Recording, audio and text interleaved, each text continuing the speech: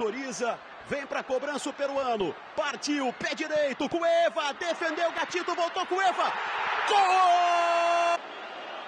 E na sequência, o Cueva ligado com o pé esquerdo define, estufando as redes do Figueirense.